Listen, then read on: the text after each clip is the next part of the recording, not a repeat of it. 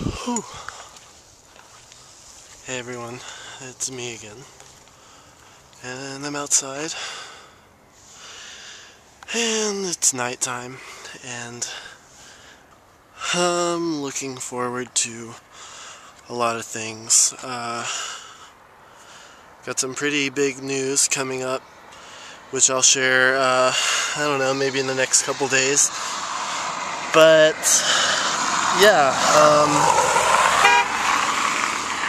might just uh, don't know why that car was honking at me. That was weird. so yeah, next couple days I'm going to share some news, and because uh, we're going to be getting the ball rolling on this this big project here. Uh, I guess I'll call it a project. It's a big project.